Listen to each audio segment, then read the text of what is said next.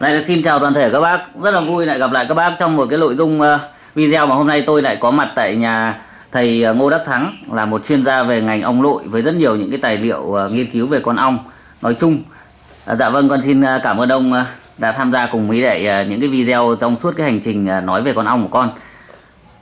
Vâng. Và xin thưa các bác là trong rất nhiều những cái nội dung về con ong thì hôm nay tôi sẽ nhờ thầy chia sẻ và đưa đến các bác Ờ, thợ nuôi ong cái nội dung về xoay quanh chủ đề về con ong chúa. à, ông ơi, à, về ngành nuôi ong thì có rất nhiều à, cái vấn đề nhưng mà đặc biệt là về cái vấn đề con ong chúa thì nó có những cái đặc điểm nào mà các bác thợ nuôi ong cần phải lưu ý ở ông? Vâng, thế xin thưa là à, về vấn đề nuôi ong thì nó rất nhiều những vấn đề cần phải đề cập đến để cuối cùng để đưa thế nào nuôi ong có hiệu quả kinh tế và à, nó là một cái nghề cho những người hiện nay để giải quyết cái cái lao động Dạ. thế nuôi ong nó là, mà là một cái nghề ờ, rất phù hợp với với nông thôn là vì không phụ thuộc vào lứa tuổi từ Dạ. già đến trẻ ai có thể nuôi được ong hơn nữa là cái lợi ích của nghề nuôi ong chúng ta đã biết rồi để không phải đầu tư cái cơ sở để làm thức ăn như chăn nuôi khác. Ví dụ chăn nuôi lợn chăn nuôi bò ta phải đầu tư cái cơ sở thức ăn. Như đằng này ong ta, ta không phải đầu tư như thế mà ta chỉ đầu tư rất ít về cơ sở vật chất kỹ thuật nuôi ong thôi. Thế, thế mà đầu tư vốn ít thì nhanh thu hồi lại vốn. Cho nên là à, và cái đầu tư vốn nó không nhiều Dạ. so với các ngành nghề khác. Thế nhưng nuôi ong thế nào để có kết quả thì nó rất nhiều nhiều yếu tố để đưa đến. Nhưng hôm nay tôi chỉ nói những yếu tố chủ yếu là con ong chúa. Dạ. thế thì con ong chúa là một cái con ong à, cái duy nhất trong một đàn ong nó có cơ quan sinh sản cơ quan à, sinh dục phát triển. Ừ. thế thì cái cơ quan sinh dục của ong chúa ấy là thế này.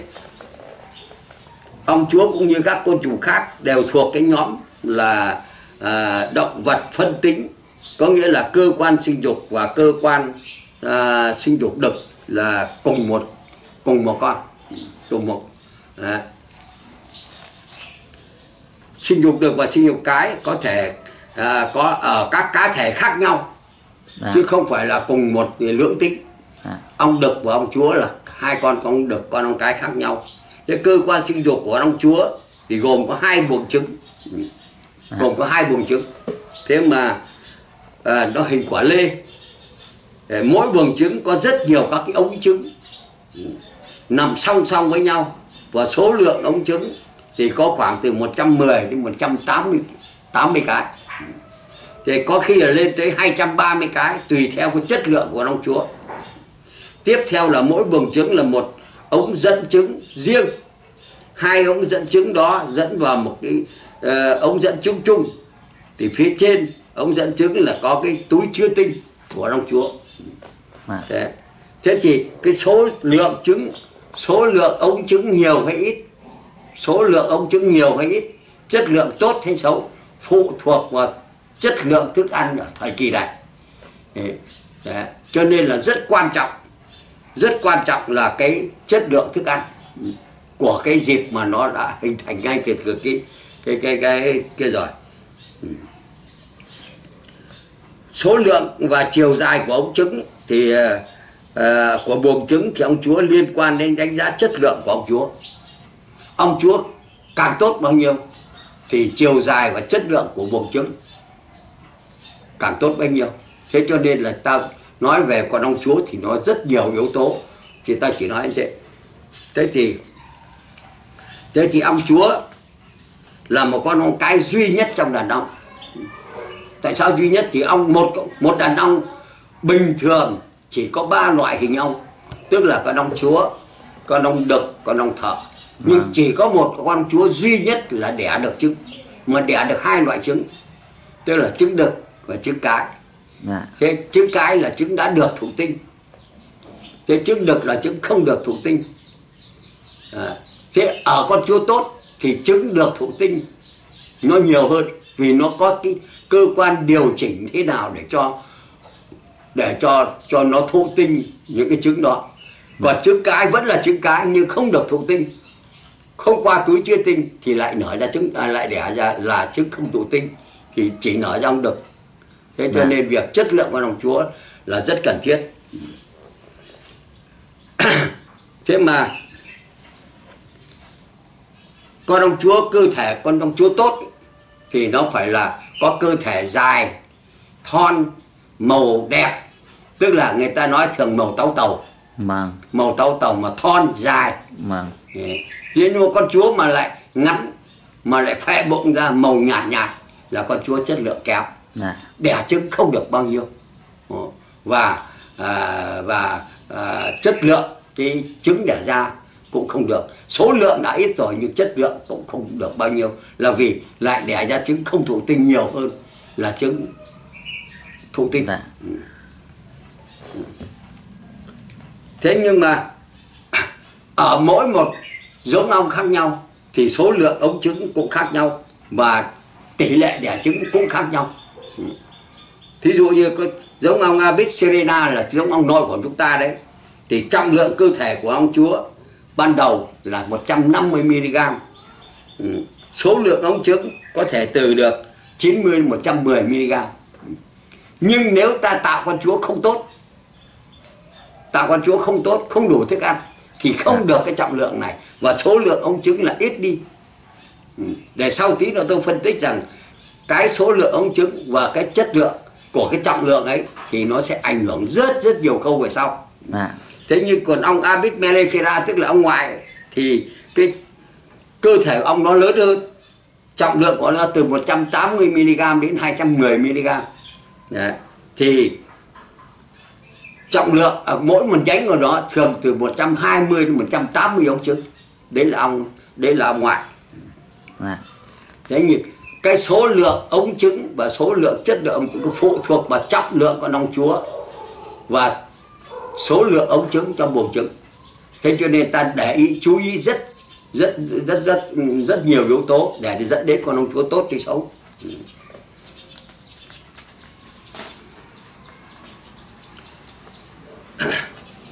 Sau khi nó sau khi nó đẻ trứng từ thụ tinh, được thụ tinh và trứng không thụ tinh thì nó nở ra hai loại ong. Tức là ong thợ và ong đực thế mà cái trứng được thụ tinh nó đẻ vào mũ chúa thì nó nở ra con ong chúa. Dạ.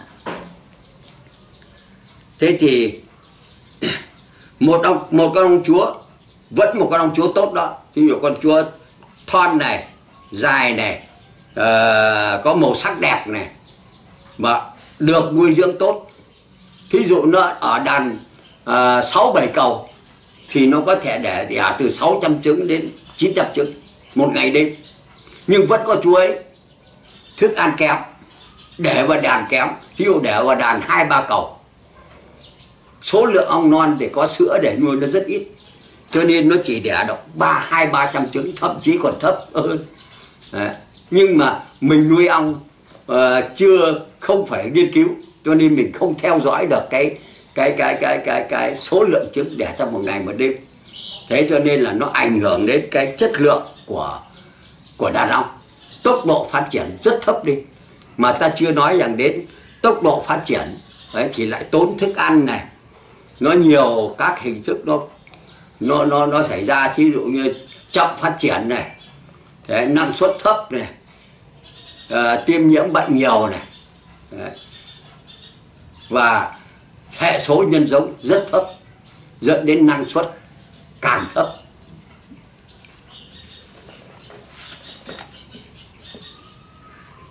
Thế còn à, một đặc điểm nữa chung nữa là cái khả năng đặc biệt của ông chúa là chúng ta nó có một cái nó có một cái pheromone. Cái pheromone đó là gì? Tức là cái chất chúa. Cái chất chúa. Mà chất chúa đó nó gì?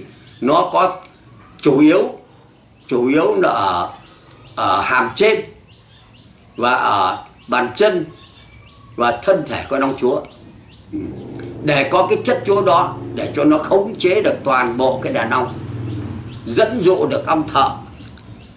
Ờ, khi bay giao phối này kiểm soát được ong thợ buồng trứng ong thợ không phát triển này để không đẻ được trứng này. Thế và duy trì được đàn lớn này. Nói tóm lại là con ong chúa tốt thì cái pheromone nó rất tốt để nó Vâng. kìm hãm được và nó phát triển được. Nếu con chúa xấu cái chất chúa kém. Ừ, cái pheromone của nó hay là cái chất chúa nó dẫn dụ kém nó kiểm soát kém làm cho đàn ông ờ, ờ, nhỏ đã chia đàn rồi. Vâng. Đấy.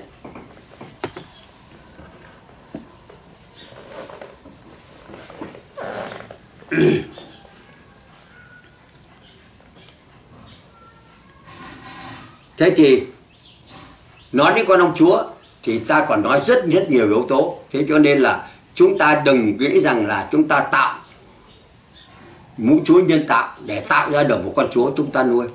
Thì xin thưa rằng nếu một con chúa đó chúng ta tạo thì không thể tạo bằng không thể bằng được cái mà nó chia đàn à nó nó nó xây tự nhiên được vì À. nó có ý thức bồi dục bầu dục bồi dục của ông chúa thế nên là để chúng ta nói là cái chất lượng của đồng chúa nó quan trọng lắm đối với sản xuất. Thế con chúa nó ra đời trong bao nhiêu trường hợp? Mà trường hợp nào để tốt, trường hợp nào để xấu?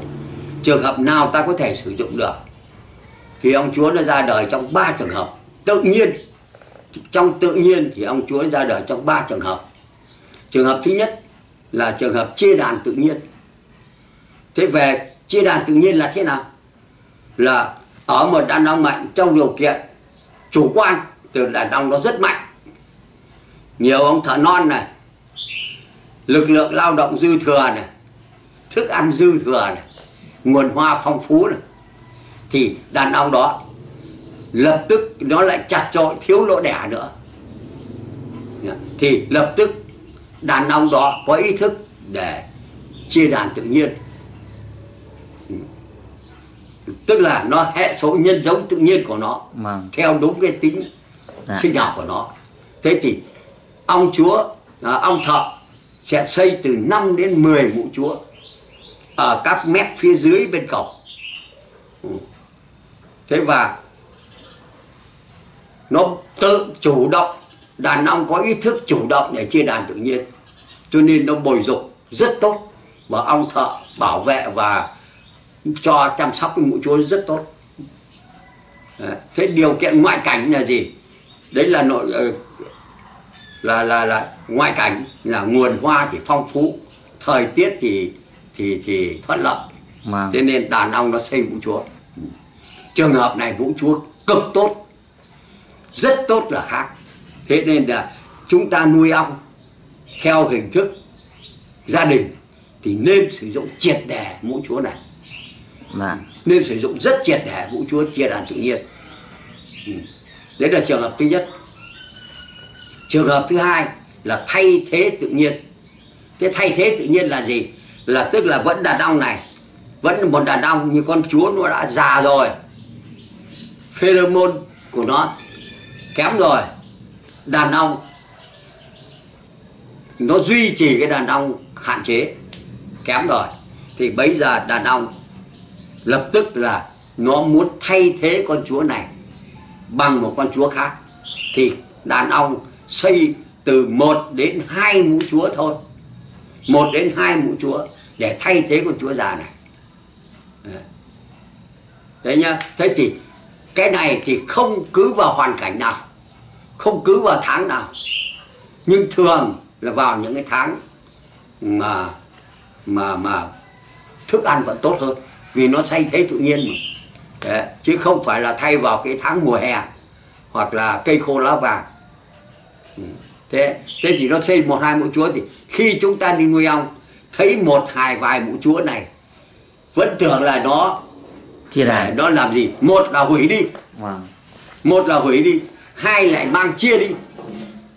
Thì không đúng mục đích của cái đàn của cả đàn nó là nó thay thế con chúa già này Mình tức phải là biết- gọi là chúa kế ngôi đấy không? nó chỉ xây một đến hai mũ chúa là để nó thay thế con chúa già này. Thì cứ để kệ nó nó không chia đàn đâu. Mà khi con chúa này nở ra cả đàn ông thợ vẫn chăm sóc nuôi dưỡng nó. Và khi bay đi giao phối nó ngăn cách không cho chúa già phá mũi chúa. Và khi chúa non thì nở ra đàn ông thợ cũng bảo vệ cả hai con chúa. Không để cho con nọ giết con kia đến khi con ông chúa này giao phối thành công về đẻ trứng tương đối ổn định thì đàn ông mới tiêu diệt con chúa già. Dạ. trường hợp chúa này cũng rất tốt. Trường hợp này cũng rất tốt. Nhưng thì chúng ta phải chú ý rằng là thế này. Không không có cái gì bằng tự nhiên. Đàn ông nó đã thấy con chúa này không còn khả năng quản lý cái đàn ông này cái pheromone dẫn dụ pheromone của nó đã kém rồi Vâng. mà nó đã ý thức thay rồi thì chúng ta phải để nó thay cho nên cũng có những người các bác các anh các chị nuôi ong cứ phát biểu rằng tôi nuôi đàn ông hai chúa Dạ. tôi nuôi đàn ông ba chúa thì thật ra nếu kéo dài thời gian đó không thể có lâu được nó chỉ một thời gian thích hợp cho ở cái đàn ông thay thế chứ một năm cái đặc điểm sinh học của nó là gì trong trường hợp bình thường đàn ông chỉ có một con ong chúa duy nhất Dạ. thế là trường hợp Còn một Thứ trường hai. hợp thứ ba nữa là trường hợp thứ ba là người ta gọi là chúa cấp tạo hay Vâng. là khẩn cấp tạo chúa Đấy. trường hợp này là thế nào bất kể vào thời gian nào mùa nào tháng nào ngày nào, con chúa con chúa ở đàn ông đó đột ngột bị chết, bị mất. Do quay mật hoặc do nọ, do kia, do kiểm tra, do nọ, do kia, con chúa bị đột ngột chết. Hoặc ta kiểm tra dung rũ bị dược trứng cũng chết. Có nghĩa là con đàn ông này tốt hay xấu không biết, nhưng mà đột ngột mất chúa. Thì đàn ông này, ông thợ cải tạo lỗ ong thợ có sẵn ấu trùng ong thợ thường là ở các tuổi nhỏ. Nhưng không có tuổi nhỏ nó cải tạo cả ấu trùng to. Nhưng còn có ấu trùng nhỏ thì nó cải tạo bất kể vào ấu trùng nào. Thì số lượng ở trên mặt, ở trên mặt mặt bánh tổ, ở vòng để trứng, cứ chỗ nào có ấu trùng là nó cải tạo. Tức là ong thợ cải tạo lỗ ong thợ, có ấu trùng ong thợ cải tạo thành mũ chúa và tiếp tục cho ăn sữa nuôi chúa, để nở cho con chúa. Ừ. Thế thì trường hợp này, chúa là cực kỳ kém. Có vì có lúc ở ấu trùng to, có lúc ở ấu trùng nhỏ, nhưng nó không chủ động bồi dục. Ừ. Cho nên là có thể nắng nóng, có thể thức ăn không có có thể nọ kia, vì nó không chủ động. Cho nên chất lượng chúa này rất kém tức là con chúa cấp tạo thì là chúa cấp tạo. chất lượng kém là mình sẽ không thế sử dụng con chúa cũng này. có những trường hợp như thế này các bác là là là làm cấp tạo đấy. Đàn ông đang bình thường này các bác nhốt nhắc con chúa đi. Các bác để cho đàn ông nó tạo một chúa để là các bác tạo thành chúa. Đấy khác gì cấp tạo. Nhưng đa số bây giờ vẫn có nhiều bác dùng cái mũ chúa này vẫn tưởng ta ta làm được rất nhiều chúa bắt con chúa đi để đàn này nó xây một loạt mũ chúa. Thế thì khác gì chúng ta đây là chúa cấp tạo. Chúa cấp tạo. Thế còn thế này nếu như một con chúa quy chuẩn của những cơ sở nhà nước người ta tạo thành con mũ chúa ở mũ chúa nhân tạo đó thì người ta làm thế này. Cái ngày tôi nghiên cứu ở viện ong liên xô cũng thế. Ngay ở viện ong liên xô thôi chứ không phải người ta Vâng. ăn nuôi hàng hàng bao nhiêu năm rồi, nhưng người ta vẫn tất cả chỉ có một cơ quan tạo ong chúa. Những cơ sở tạo ong chúa từ của từng vùng. Ví dụ, người ta chọn mũ chúa này, tạo hết một lượt mũ chúa này. Xong người ta lựa mũ chúa, cái nào đúng tiêu chuẩn, không cong, không vẹo. Còn cái nào cong, vẹo, người ta bỏ đi. Thế đồng loạt rồi thì người ta lại chọn này. Những mũ chúa nào non, người ta để riêng ra một đàn mũ chúa là đại khái là phân ra cùng tuổi. Ừ, cùng tuổi để ra một đàn để ghép sang cầu cầu chúa khác. Thế cho nó đồng loạt. Thế để cái cầu này để cái đàn này là chúa nở ra đồng loạt cùng ngày. Thế nở ra cùng ngày người ta để ra vào một cái thau thau men nở ra. Vì nó nở ra trong tiếng đồng hồ nở hết. Thau men, nhìn xem con nào không xoắn cánh con nào không què chân, con nào không xoăn râu. Bấy giờ người ta mới mới mới mới mới mới đưa vào cái đàn nuôi chúa. Chứ không phải bây giờ ta gắn cái mũ chúa vào cái là ta không biết. Bất chấp nó nở ra nào thì xoăn cánh, có thể là xoăn râu, có thể là què chân. Vì có thể là những lúc cái cầu chúa ta rũ thế này, làm cho cái ấu trùng chúa trong mũ chúa nó lăn như ốc vào trong ruột ốc vào trong là xoăn hết cánh thế mà thời gian chúa đưa vào đàn đấy thì có thể là 5 ngày có thể 10 ngày không giao phối ta vẫn cứ để. Ừ, có thể hàng lâu hơn nữa. Thì chúng ta không đào thải những con chúa quá chậm không giao phối. Ừ. Dạ vâng. thế cho nên là vì chất lượng con ông chúa xin thưa rằng tóm lại là cái này con ông chúa tốt. Con chúa con chúa tốt đấy thì người ta lúc nào cũng duy trì đàn mạnh. Dạ. lúc nào cũng duy trì đàn mạnh. Tốc độ phát triển rất lớn rất nhanh. Hạn như thế là hạn chế tất cả cái bốc bay và chia đàn tự nhiên. Dạ. con chúa tốt. Thế năng suất sản phẩm lại rất cao vì hệ số nhân giống lớn có thể nếu ta làm giống thì hệ số nhân đến 4 lần. Dạ. nếu ta tính theo đàn ngọn thế thế thì thế và kháng được bệnh. Thế tóm lại tóm lại không nuôi ong không có gì tốt hơn là con chúa tốt. Tức là vai trò của ông chúa là là một trong những yếu tố rất là quan trọng vâng. Thế ông ơi cái đấy là, là những cái điều kỹ thuật uh, cơ bản về nói về con chúa. Thế còn ông chúa thì uh, trong cái quy luật tự nhiên ấy thì là nó đi thụ tinh thì là uh, quá trình thụ tinh nó diễn ra như thế nào hả ông? Và từ mấy ngày tuổi? À như thế này.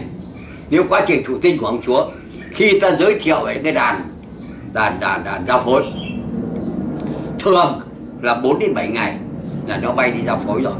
À. nó bay đi giao phối rồi thường là như thế. Thời tiết tốt, thường trong vòng cuối tuần là nó đẻ.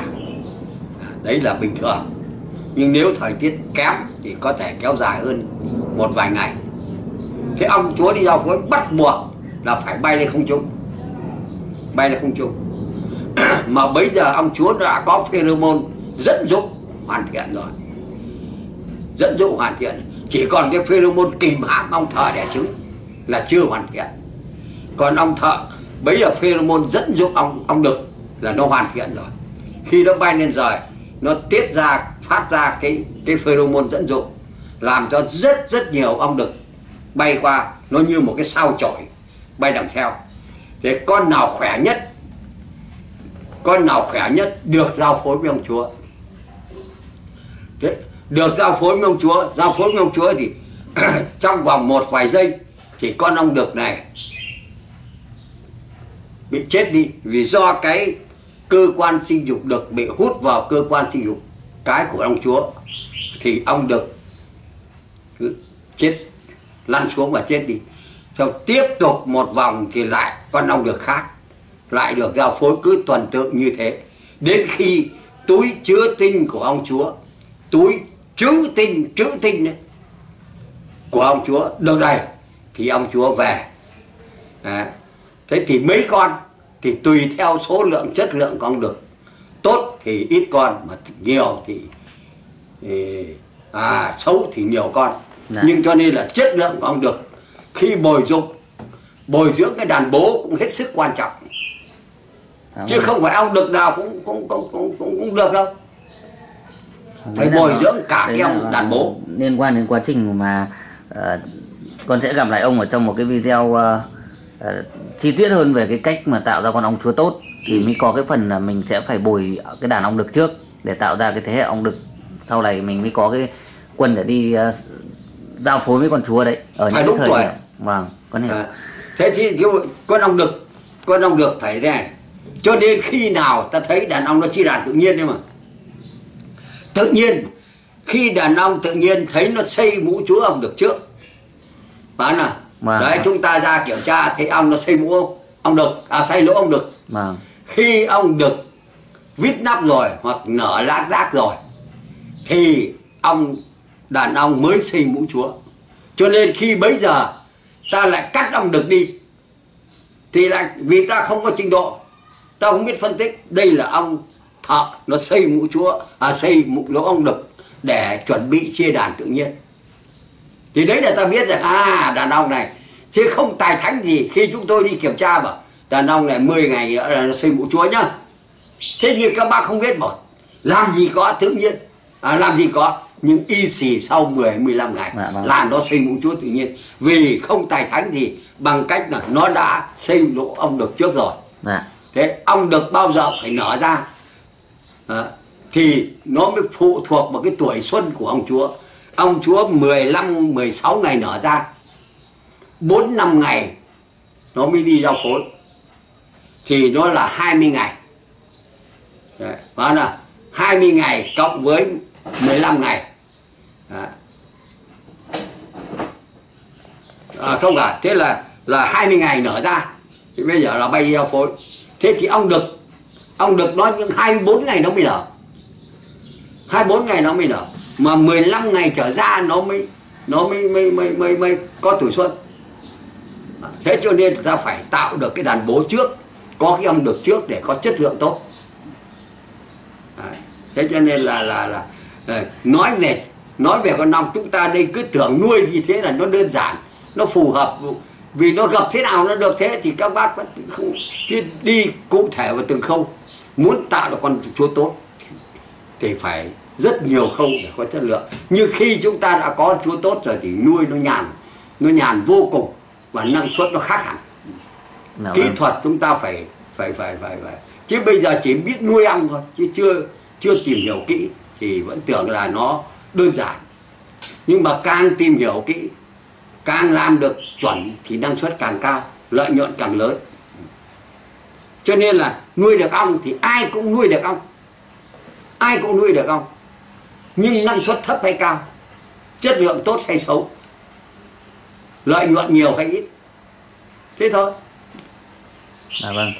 À, xin thưa toàn thể các bác là vừa rồi à, tôi với thầy à, vừa mới trao đổi à, một cuộc trò chuyện à, nói chung về con ong chúa thôi.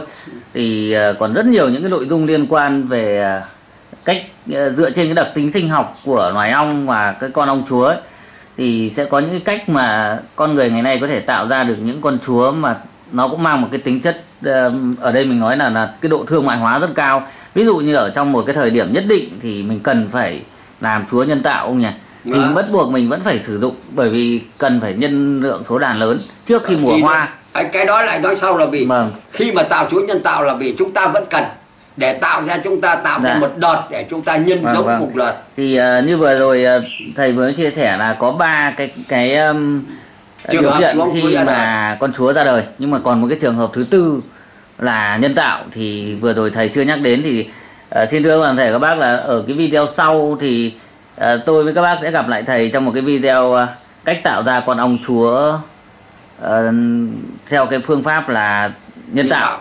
Vâng. Thì ờ, ở cái video nội dung của tuần này thì ờ, nói trò chuyện chung với con chúa tôi cũng rất là mong các bác ờ, ủng hộ kênh ờ, ờ, cùng với tôi với thầy trong suốt cái chặng đường ờ, sẽ chia sẻ nhiều cái nội dung về con ong. Con xin được cảm ơn ông. Ờ, xin gặp lại các bác ở video ở tuần sau. Vâng, Ờ, con chào ông. vâng.